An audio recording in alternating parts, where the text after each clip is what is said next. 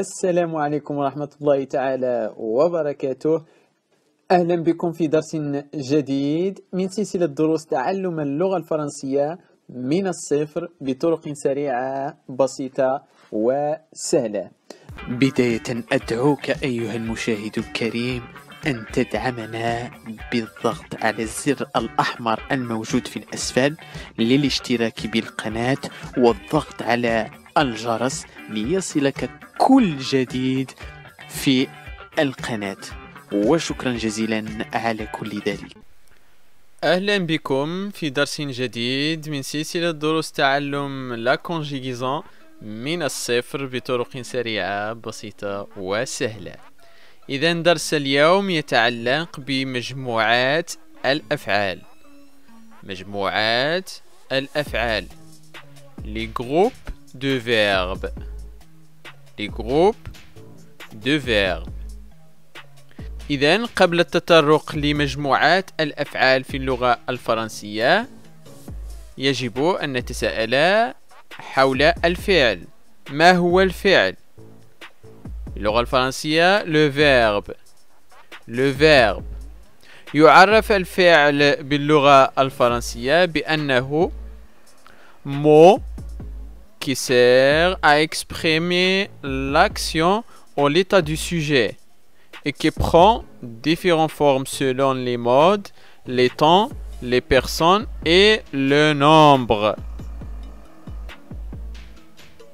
بمعنى أن الفعل هو كلمة تستخدم للتعبير عن الفعل أو حالة شيء معين والتي تتخذ أشكالا مختلفة وفقا للصيغ والأزمنة والأشخاص والعدد مفهوم؟ إذا فالفعل في اللغة الفرنسية هو كلمة هذه الكلمة نستخدمها للتعبير عن فعل يقوم به شخص أو حالة شخص أو شيء معين مفهوم؟ وتتخذ أشكالا متعددة وفق الصيغ وفق صيغ لا كونجيغيزون التي رأيناها والتي يمكنكم الرجوع إليها وبداية دراستها من الدرس الأول والأزمنة هل في الحاضر أو المستقبل أو الماضي؟ والأشخاص يعني من يقوم بهذا الفعل أنا أم أنت أم هو أم هي أم نحن إلى غير ذلك. والعدد هل من يقوم بهذا الفعل هو شخص واحد أم أشخاص متعددون؟ مفهوم؟ إذا هنا عرفنا ما هو الفعل. إذا فمجموعات الأفعال les groupes de verbes في اللغة الفرنسية هي عبارة عن تقسيم تقسيم للأفعال في اللغة الفرنسية إلى مجموعات حسب نهاية كل فعل منها مفهوم؟ يعني عندنا لدينا مجموعة من الأفعال نقسمها أو قس تم تقسيمها إلى ثلاث مجموعات حسب نهاية كل فعل يعني حسب نهاية مجموعة كل مجموعة من الأفعال مفهوم؟ وسنرى لماذا هذا التقسيم إذا فما هي هذه المجموعات؟ في اللغة الفرنسية وفي لا كونجيغيزون باللغة الفرنسية بالضبط لدينا ثلاث مجموعات من الأفعال لدينا المجموعة الأولى premier groupe.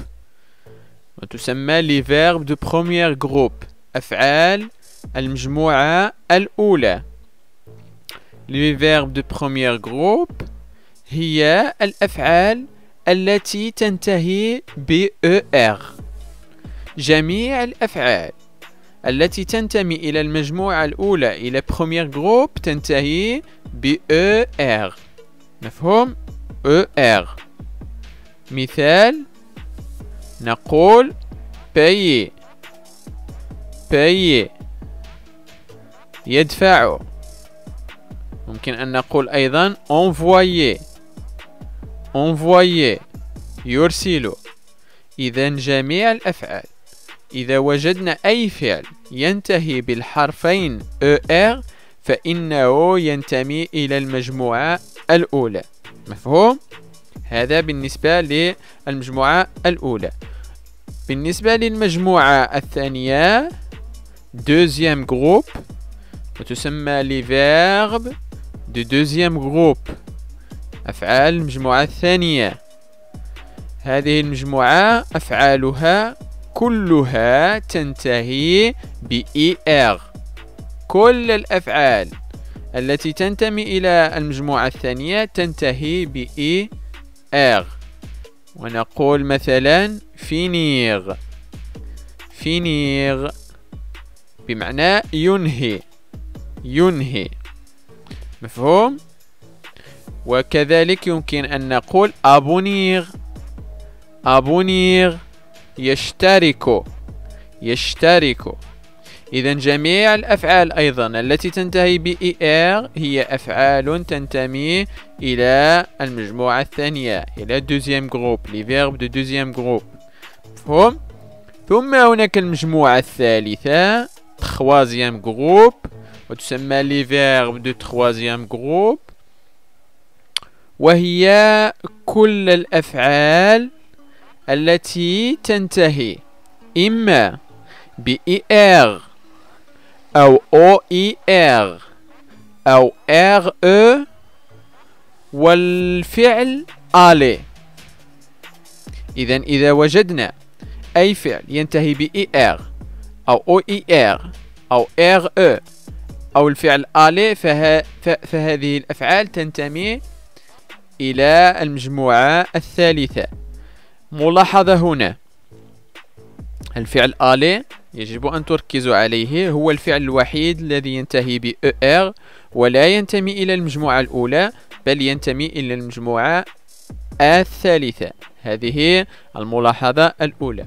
الملاحظة الثانية هو أن هناك أفعالا تنتهي ب ER تنتمي إلى المجموعة الثالثة ولا تنتمي إلى المجموعة الثانية. مفهوم؟ فيما بعد سوف نرى القاعدة كيف سنميز بين الفعل الذي ينتمي إلى المجموعة الثالثة والفعل الذي ينتمي إلى المجموعة الثانية واللذان ينتهيان كلاهما بالحرفين ER مفهوم؟ إذا بالنسبة للمجموعة الثالثة يمكن أن نقول كمثال tenir tenir معناه يحمل يحمل avoir avoir بمعنى يمتلك أو لديه prendre. Prendre. بمعنى يأخذ. يأخذ. إذا مفهوم؟ إذا لو تخوازيام جروب المجموعة الثالثة من الأفعال يكون فيها الأفعال الذين ينتهين ب ER أو ER أو ER RE والفعل aller مفهوم؟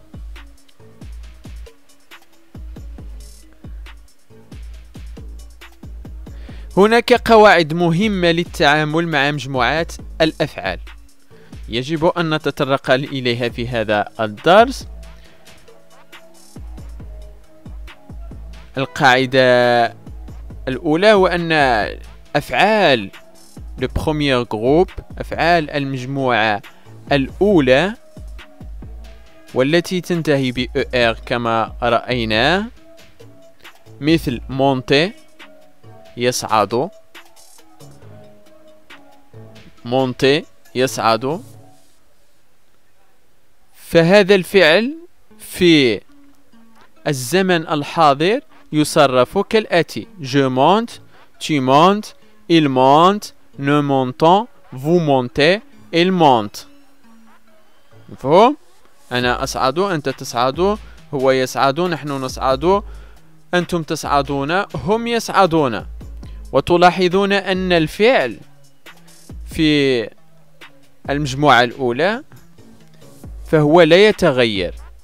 نغير فقط النهاية يعني نحذف ER ونضع في الضمير je الحرف E ونضع في الضمير tu الحرف أو الحرفين ES.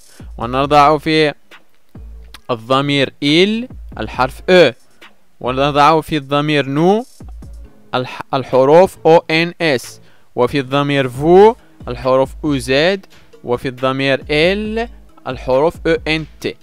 إذا الفعل في أغلب الأحيان إذا كان ينتمي إلى المجموعة الأولى premier groupe وينتهي ب ER ففي غالب الأحيان لا يتغير بل نغير النهاية فقط. أي نحذف ER ونعوضها بهذه النهايات التي رأيناها. وهذا بالنسبة للزمن الحاضر. مفهوم؟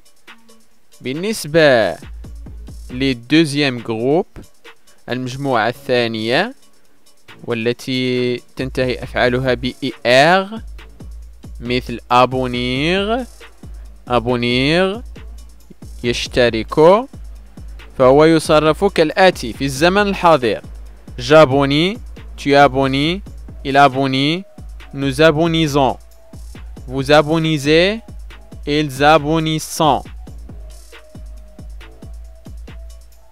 مفهوم أنا أشترك أنت تشترك هو يشترك نحن نشترك هم يشتركون.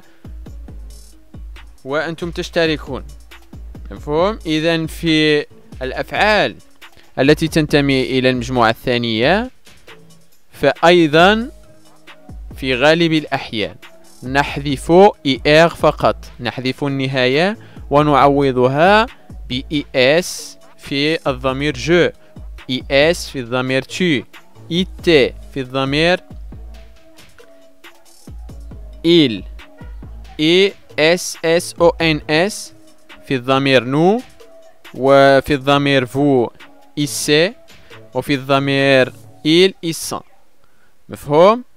إذا في, في هاتين المجموعتين المجموعة الأولى والمجموعة الثانية فالفعل في غالب الأحيان لا يتغير في المجموعة الثالثة troisième groupe كما رأينا أن الأفعال فيها تنتهي ب ER أو OER أو RE أو الفعل aller فهنا الفعل مثل مثل مثل الفعل tenir يحمل avoir يمتلك prendre يأخذ. فإن تصريف هذه الأفعال التي تنتمي إلى المجموعة الثالثة تصرف كالآتي.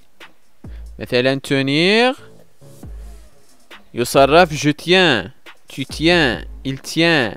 Nous tenons vous tenez elle tient. مفهوم تلاحظون أن الفعل هنا تغير تغير تماما مفهوم لأنه ينتمي إلى المجموعة الثالثة الثالثة كذلك الفعل avoir يمتلك يصبح j'ai tu as il a nous avons vous avez ils ont. كذلك الفعل avoir تغير تماما كذلك بالنسبة للفعل prendre يصرف je prends tu prends il prend nous prenons vous prenez il prenons il prend مفهوم إذا الأفعال في المجموعة الثالثة troisième groupe les verbes de troisième groupe هي أفعال عندما تصرف تتغير تماما. وهذا التصريف في الزمن الحاضر تتغير تماما على العكس من المجموعة الأولى والمجموعة الثانية. وكمعلومة فإن أفعال المجموعة الثالثة في اللغة الفرنسية هي قليلة جدا لا تتعدى 350 فعلا. بينما غالبية الأفعال فهي تنتمي إلى المجموعة الأولى والمجموعة الثانية وذلك سيسهل علينا تعلمها وتصريفها في المستقبل بشكل جيد جدا دون ارتباك ودون صعوبة. أحبتي الكرام إلى هنا نكون قد وصلنا إلى نهاية الدرس. أتمنى لكم كل التوفيق والنجاح. إذا بهذه النقطة ينتهي درس اليوم. إذا كانت لديكم أي استفسارات اتركوها لنا في التعليق. إلى ذلك الحين أتمنى لكم كل التوفيق والنجاح. والسلام عليكم ورحمة الله تعالى وبركاته.